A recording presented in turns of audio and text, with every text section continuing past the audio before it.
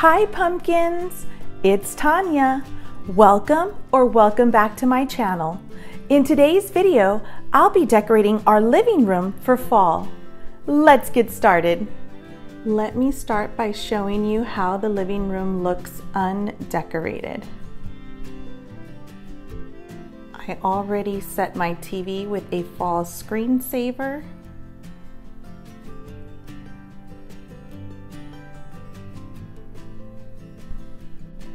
And if you've been with me for a while, you'll notice that I have moved the blanket ladder to that back corner right over there. Here are all the items that we'll be using in today's Decorate With Me video. I moved my blanket ladder to that corner so I could put in my fall tree. Let me show you.